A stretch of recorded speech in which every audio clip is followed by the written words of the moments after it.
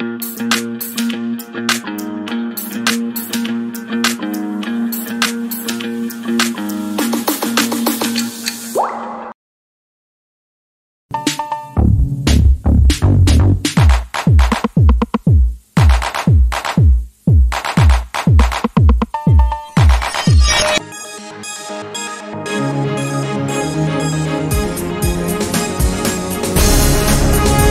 we thank God for this beautiful day. And of course, this is the Buzz UG as usual. My name is Malads Milo, aka Fula. And in case you haven't subscribed, kindly subscribe and also tap on the bell for all the notifications. Now, former presidential candidate, His Excellency Robert Kyagulanyi Ssentamu, aka Bobi Wine, has vowed to fight to his last breath to make sure that President Museveni doesn't get even a drop of oil from the Bunyoro region. Now, Bobi Wine said that it's not written anywhere that it should be only President Museveni to drill Uganda's oil, and hence, as a country, we should wait so that all the necessary areas with question marks are streamlined, especially the environment concerns and human rights. Ebiwandiiko ebyamafuta endagaano z'amafuta temuzimanyiiko basebo ne banyabo. So temuwuliriza bano bebakozesa be bakozesa ate bagala nnyo okukozesa abasoma zeni profesa zani tebikwatako ekikwatako obugagga bwa ggwanga bulina okugasa kuba ggwe ne museveni mwenkana omugabo ku uganda eno. Now, last week, the Deputy Speaker of Parliament, Honorable Thomas Tayewa, confirmed that he and other leaders in Parliament were going to have a meeting on the issue of abductions in the country.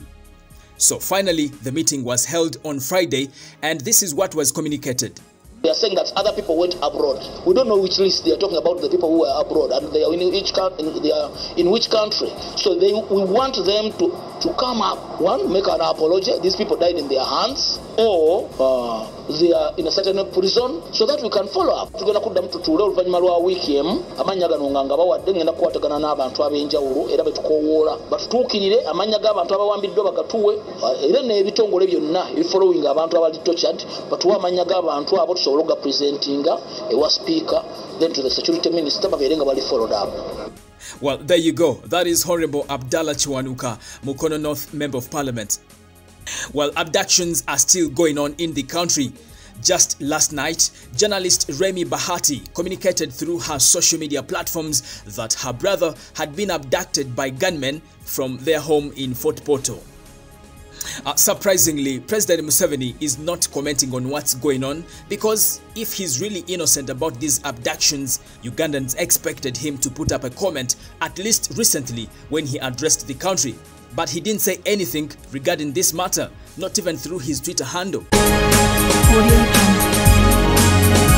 Now, this video of people who look to be security officers from the UPDF kidnapping a gentleman who has been identified as Rafiq from Pakistan has been making rounds on different social media platforms.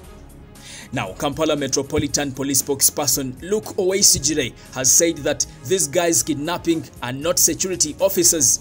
They were robbers masquerading as security officers and right now they are working on identifying them.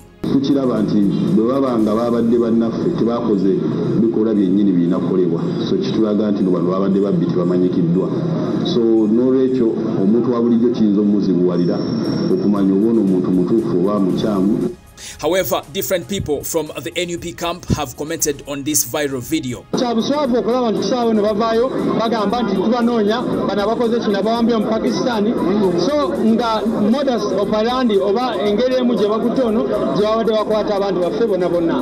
Katono eddoboozi kale eryo lyavuddeyo nti akatambi kakwatibwa naye bameka abasobola okuba nga bayisibwawo batyo nga bo tebannalabika oba babuze. Okyawula otya bano betusanga badopinze nga baba basse baagala kutandika tubuzaabuza butatulowoozesa nti buli kimu bakikola bakimanyi. Mu uganda abantu bokka balina emmundu betumanyi bamagye poliisi na prison. So buli kyonna kyebakola bakikola mu bugenderevu. Teotunuuliranga ebitongole by'okwerinda byasukka obungi ate byonna nga birina obuyinza. Ne bigenda ne bikwata abantu ab'enjawulo nga bw'okubira ono agamba "Simu- sinze mukutte ate oli nange sinze mukutte ate nga wali bamukutte nakyo nga kitongole kya byokwerinda so abantu ba bulijjo senga be bakola ebintu ebyo senga tetudda na mu kamera kubyogerako Now, the Ministry of Public Service has made a draft of proposals for cabinet consideration to standardize funeral and burial expenses for the VIP in government. under the proposals, it will cost up to 500 million to bury a sitting president, 300 million for the vice president, former vice president, the speaker and deputy speaker of parliament, plus the IGG. Now, the leader of opposition has also been included in the proposal. For example, if Honorable Mathias Mpuuga dies right now, God forbid of course, 240 million will be spent according to the proposal. Now, this proposal has left many Ugandans very angry. Some people are saying that teachers, security officers, doctors and other government workers are poorly paid, but hey, people are here talking about trivial matters. Anyway guys, what do you think about this proposal? Is it a nice move or is another wastage of resources? The comment section is right there for you. Now, in a tweet yesterday morning, the Minister of Health, Dr. Ruth Aceng, announced the death of Dr. Muhammad Ali, aged 37, a Tanzanian national. The deceased tested positive of Ebola recently and died while receiving treatment at Fort Portal Regional Referral Hospital Isolation Center. Uh, unfortunately, we lost him today at about 3:15 a.m. in one of our isolation facilities in Fort Portal Regional Referral Hospital, a facility that we refer to as JMedic because it is a research facility. Now, Dr. Ali is the second medical worker to succumb to Ebola since the outbreak hit. Well, he was pursuing a master's degree in medicine and surgery at Kampala International University. May his soul rest in peace.